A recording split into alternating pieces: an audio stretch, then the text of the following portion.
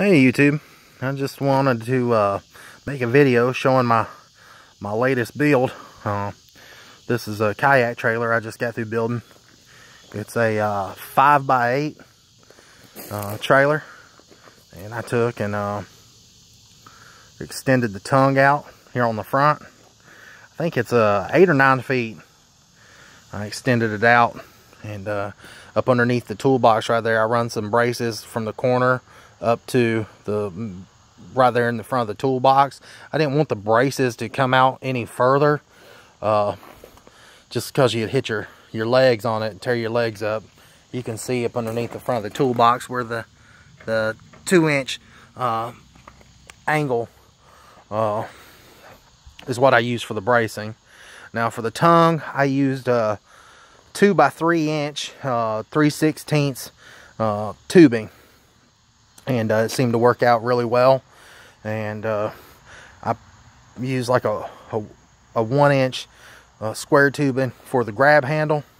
I made it big enough where you could put you know at least a pair of hands on there probably probably four hands on that thing if you needed to pick it up and drag it you know both people on both sides could uh, or one person on each side could grab a hold of it and move it wherever you needed to go and uh, anyways, the uh, the uh, locking coupler, uh, the hole was large enough on the coupler that I was able to use like a full size padlock on it.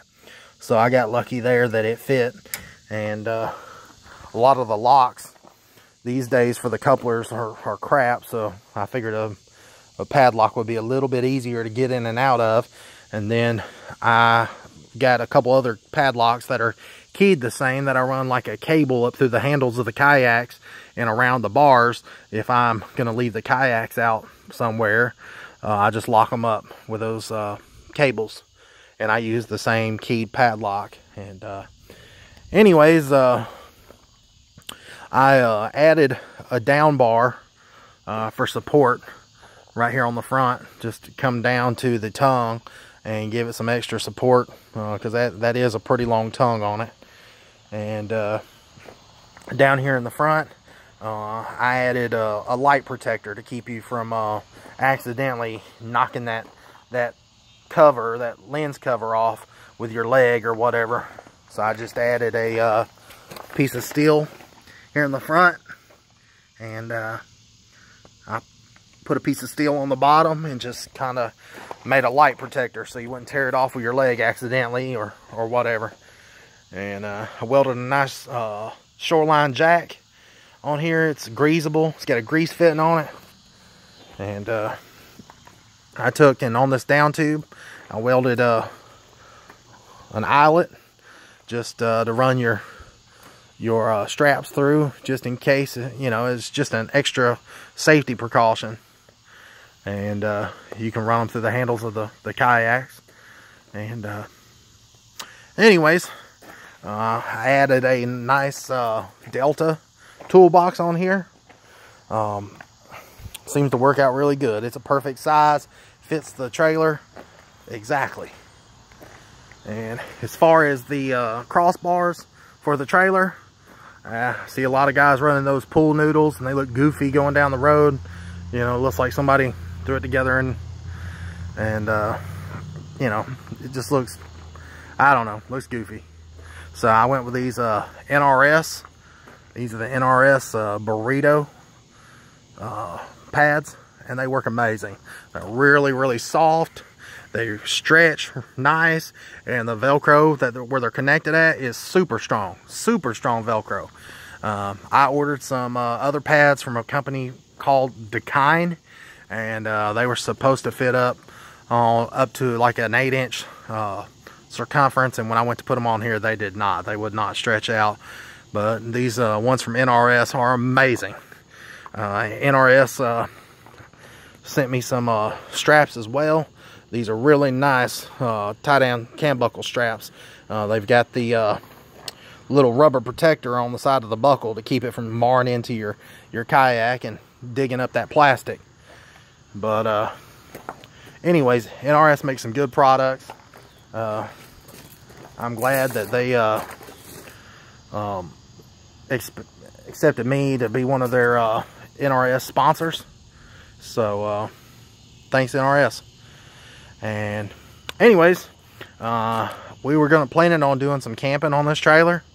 So that's the reason why I made it a 5 by 8 uh, I used to sell furniture a long time ago and uh, I know from selling bedding and stuff, we used to sell bedding as well. And I know a queen mattress is uh, 60 by 80. So it's uh, 60 wide and 80 long. And basically it'll fit right in the between the rails uh, of a 5 by 8 trailer. And then there'll be some room down at the end for you to put a nice Yeti cooler or whatever you got uh, down at the end. So that's what I I uh, I've done. I've got an air mattress that I keep put in there now, but I'm just going to trade that out for a regular mattress and put a waterproof uh, pad over top of it, and we can take it camping. And you're sitting there thinking, well, if you take this thing camping, you're going to get pretty wet. Well, that's the reason why I took and put a uh, crossbar across the top and uh, you know it's eight feet long so I ordered a uh, a nice tarp uh, off uh, Amazon really really nice tarp uh, that's gray that fits over the top of that rail and it goes from uh, right here this end all the way over to this end and it droops over the top of it and makes like a like a tent and and then you can fasten it down to the sides of the rails with some little bungee type straps. And um, anyways, your mattress will stick up um, to about where it's flat right here with this top of this bar so you don't kill your leg trying to get out of bed, you know. So the mattress fits in there real good. Like I said, I've, I've been just using the uh, the uh, blow up mattress, but when I switch to a regular mattress, it'll fit in there perfect.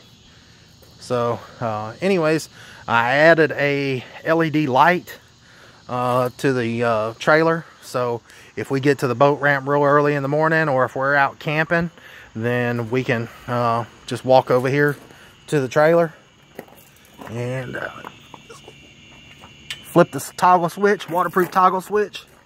And now I've got a nice LED uh, backup light and you can use it as a camping light and uh, it draws very little power. I've got it wired up uh, and it's hooked into a uh, battery jump starter with just like a cigarette lighter plug that plugs right in.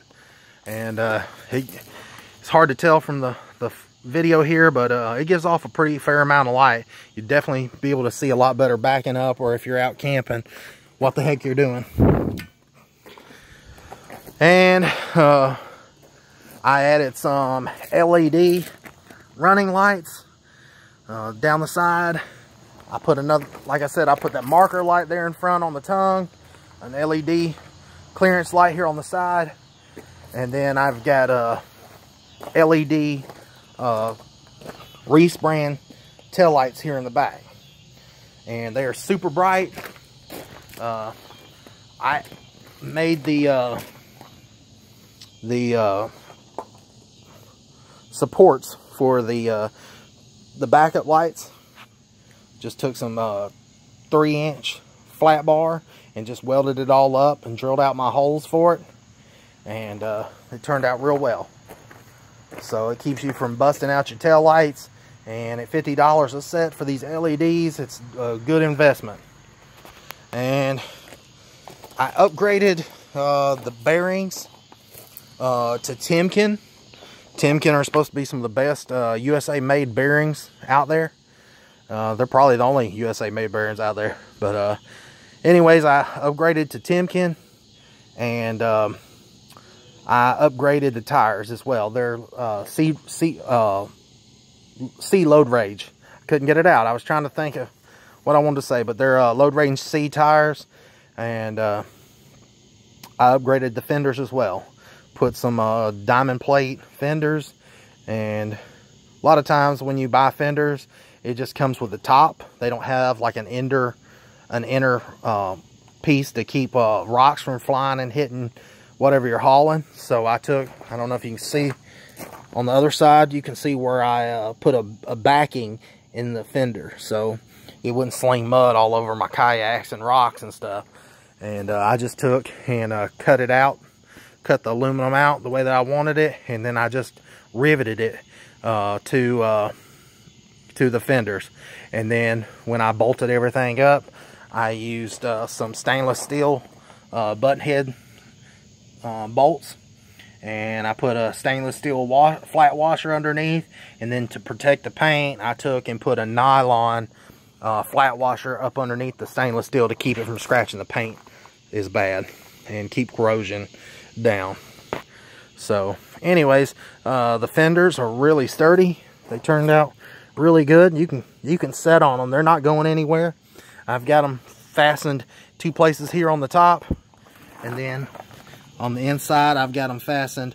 Um, one right there and one right there. So you can see they're they've got four four bolts in them. They're not going anywhere. And uh, uh, let's see. On the back, I added a uh, flag up here at the top uh, with an eyelet. I just uh, I just mounted a flag in that in that eyelet there so you know, people can see that there's a, a load sticking out the back of the trailer. And uh, I added some safety reflectors on all the crossbars in the back. I wanted people to be able to see this thing not run into it and uh, anyways I've got uh, uh, some boards that's going to go in these holes here in the tailgate part of it uh, that says Team Melton. That's my last name. And uh, since I've been getting quite a few sponsors, uh, I figured I'd put my name on it. And uh, I was going to uh, put some of my sponsors on the back window of my, my truck whenever I buy a new truck here sometime in the next month, hopefully. So, anyways, uh, this gives you a good idea of what all I've done to the trailer. And there's no reason why you can't do the same thing to yours. Um, one last thing, I did add a spare tire carrier. And uh, I, I used a spare tire lock. And I used the same type of Binks locks that was up there on the tongue. And then the same Binks lock that I use to uh, wrap around the, uh, the handles of the kayaks and what you can do is take and wrap the uh, the wire through this handle, the wire through this handle, and have it come down because it's 15 feet long, and hook it through uh, the lock here on the front. So you just have one lock to hook the for the spare tire and both kayaks in the front, and then uh, if you wanted to, which I've got a third lock that's keyed the same, you can hook hook it to this kayak, hook it to this kayak, and then wrap it around that eyelet right there. It's a forged eyelet, so it's not gonna break real easy. And of course, if they're a thief, they can, there's nothing that they can't get into, so. But anyways, I, I would like to thank some of my sponsors, NRS, uh, Quantum, uh, Bending Branches. I appreciate all your, your help. And uh, that's it, guys uh, get out there in your garages and start working on stuff.